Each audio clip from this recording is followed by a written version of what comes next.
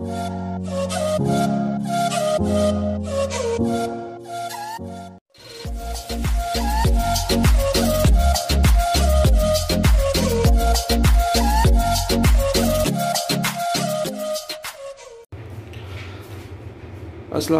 viewers welcome to my channel Pardesi food with Kashif क्या हाल है आप सबका? कैसे हैं सब? उम्मीद करता हूँ सब ठीक ठाक होंगे और रमज़ान भी आप लोगों का बहुत अच्छा जा रहा होगा।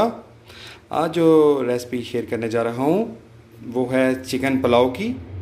इसके लिए जो चीज़ें चाहिए, मैंने लिया एक के जी चिकन लिए जी, और मैंने लिए दो अदद प्याज कटे हुए, दो अदद टमाटर कटे हुए, अदरक लहसन लिया जी मैंने, और जो मसाला यूज़ करूँगा मैं, एक चम्मच सूखा धनिया लिया है, एक चम्मच ज़ीरा लिया है, एक चम्मच मैंने कड़ी पाउडर ले लिया है, एक चम्मच मैंने दादर मिर्च ले ली एक चम्मच काली मिर्च ले ली और ढाई चम्मच मैं इधर नमक यूज़ कर रहा हूँ और मैंने बाकी लौंग लिया है, इलायची लिया है, दालचीनी लिया और बादयान का फूल लिया है।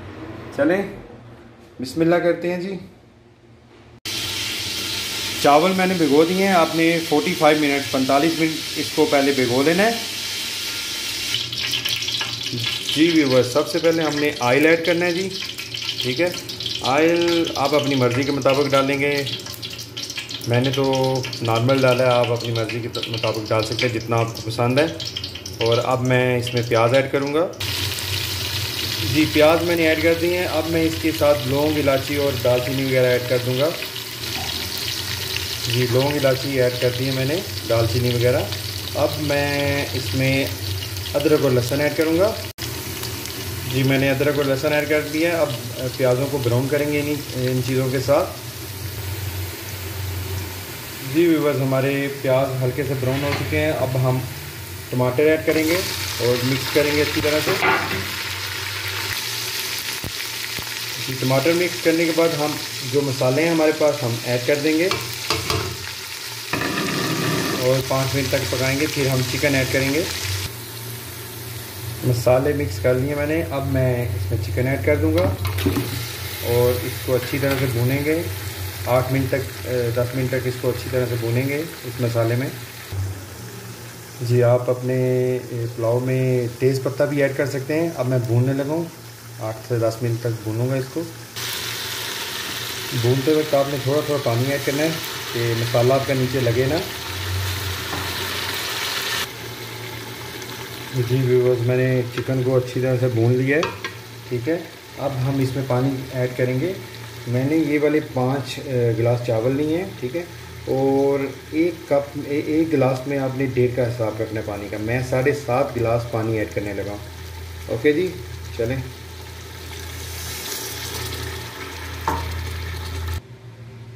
जी व्यूवर्स मैंने पानी ऐड कर दिया अब इसको इसको हम डांप देंगे और उबाला आने देंगे। जब इसमें उबाला आ जाएगा तो हम अपने चावल ऐड कर देंगे। ओके जी? जी व्यूवर्स देखें, उबाले आने शुरू हो गए हैं पानी में।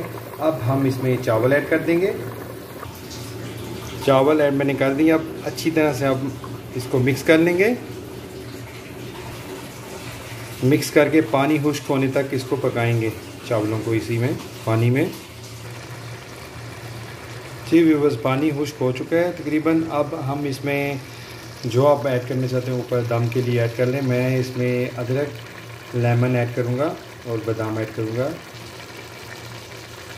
जी, बस मैंने ये ऐड कर लिया। अब मैं कपड़ा दे के इसको दम दूँगा तकरीबन 20 से 25 मिनट तक। चलें, इसको दम देते हैं जी। दम के बाद फिर चेक करेंगे कैसा हमारा पुलाव बना। जी बस मैंने तवा रख लिया है दम दम के लिए, क्योंकि वो चावल फिर नीचे लगेंगे नहीं और हल्की आग रखी है मीडियम सी। और मैं इसको 25 मिनट तक दम दूँगा और ऊपर वेट रख दिया है। ठीक है जी? चले व्यूवर्स बिस्मिल्लाह करते दम से उतारते हैं हम। देखें हमारे जो पुलाव है, तैयार हो चुका है। अब मैं इसको प्लेट में सर्व करूँगा। और अच्छी तरह से ये मिक्स कर लूँगा मैं।